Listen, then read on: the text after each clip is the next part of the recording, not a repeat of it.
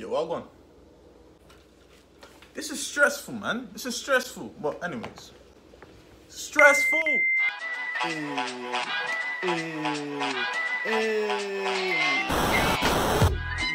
Showtime. Hey guys, what's up? I'm Shonobi. I'm an artist based in Wayne, Michigan, and today I'm gonna try to show you how I compose a painting. Uh-huh. First video, so bear with me. I'm not really sure how it all works, I'm gonna get used to it. But yeah, just just watch the video. Thank you. All right. Okay. So um, don't worry. I'm a professional. I've been doing this for approximately three days, so I I know what I'm doing, guys. Don't worry. I got this. Now, the very first step is just having an idea to work with or a subject matter. For this one, my idea is just to do a portrait and to have a reflection in it and just interact with the reflection. And after I had my reference together, I put them together on an app called um, Visref. I'll write it down somewhere. And that's what you saw me using all the time. And then after that, I just played around with some compositional ideas and then had people like give me critiques and what they think was best or, you know, suggestions and stuff. And in the end, I decided to go with the second one because it's a lot more dynamic. As you can see, there's a lot more angles in there and your eye moves around a lot more.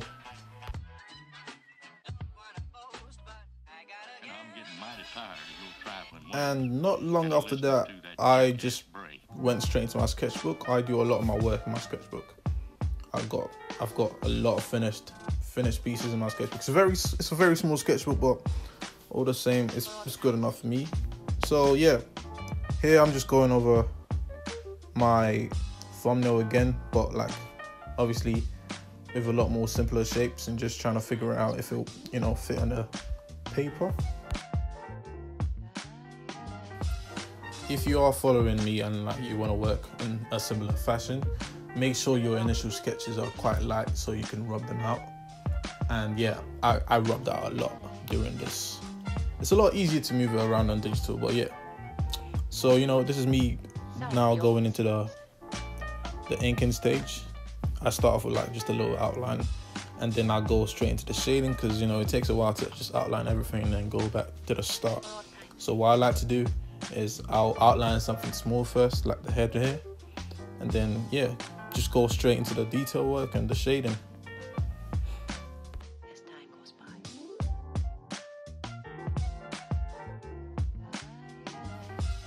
I forgot to say this at the start, but um, I do plan. I, I plan to like make this into a big, a bigger painting in oils, and um, yeah, so at this stage, I just want to get as much detail as I can from my reference pictures because then when I move to the painting, this new drawing is going to be my reference picture for details.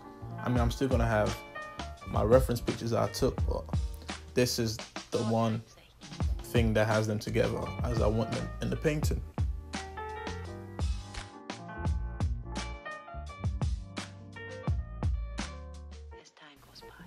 Okay, let's get the little get to know stage out of the way.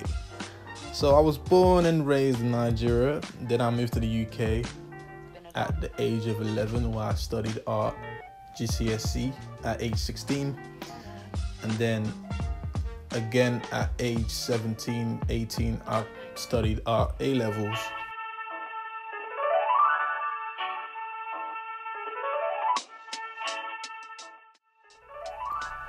people like frequently ask like when I first started drawing, and it's not a question that's easy to answer because I don't remember because I've always been drawing as long as I've known. So let's say 20 years or maybe 15, give or take. I'm not sure. And uh, as I said, I studied GCSE art, which is where I was introduced to acrylic painting. Before that, I was terrified of painting anything because I just thought, no, I'm not good enough for that. Like, that's for like masters. Like, you have to get taught how to do that kind of stuff. But here's the truth: you can't really learn it from anyone. Like you can watch the videos and listen to tips and stuff, but the real learning is done on your own time. So you have to spend a lot of time practicing and failing, which is okay, man. It's okay to fail as an artist. Just come back every time and make sure you're improving. There's nothing wrong with that. And now I'm just doing the thing I said I wasn't gonna do before. I'm just going. I just went in and outlined everything, and this is because I wanted to take a picture for Instagram and just you know post a progress pic which I actually didn't end up doing. So I didn't need to you know do all of this, but it did make things a lot less messy because I could then rub out the pencil lines and stuff.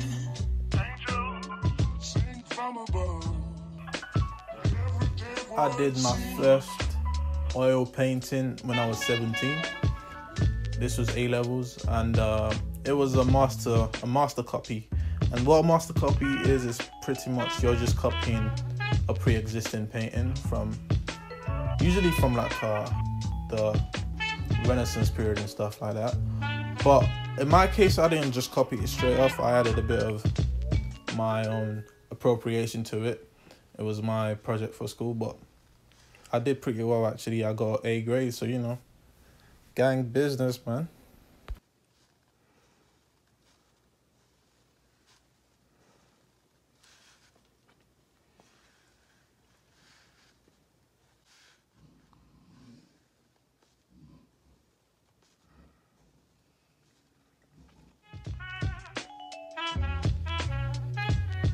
After I finished my A levels, um, I applied for University of Arts London after my gap year.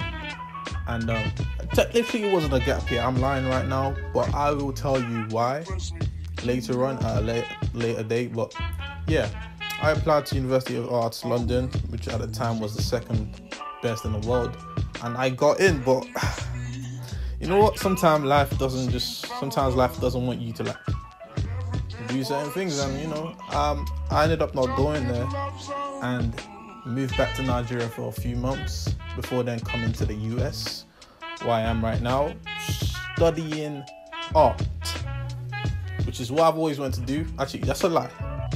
That's a lie. At one point, I wanted to study architecture just because I thought, you know, I could make some money off this. There's a steady salary. Then I realized I don't want to spend seven years doing something just because of the money and then end up regretting all that time spent stressing. So yeah, I'm an art student at Eastern Michigan University. Yeah, and I'm loving it, man. I've been here for four months, five months. Auntie Rona just hit. Everyone's locked down, so I thought, you know, let me let me do this YouTube thing. Let's see what happens. I have time. As I said earlier, the sketchbook's pretty small. It's an A5 sketchbook, so I need a pretty small pen to do details. And here I'm using a 0.05 millimeter uni pen. And yeah, I'm just gonna go through this really fast. I'm gonna go back into time lapse. I'll see you guys at the end of the video.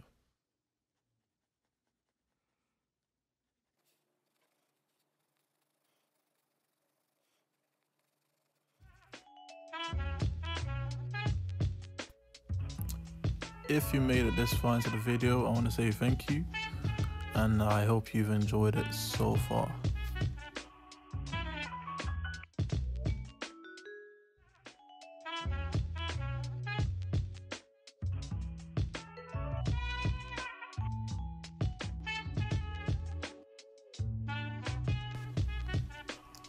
If you don't already, make sure to follow me on all my socials to like keep up with my content because I do post like the better quality pictures in there.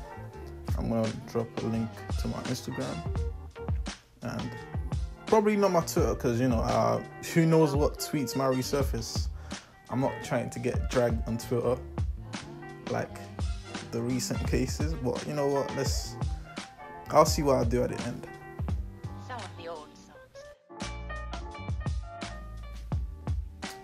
And uh, of course as i just said the better quality pictures are on my instagram. So do make sure you go check that and leave a like and share of course. Thank you.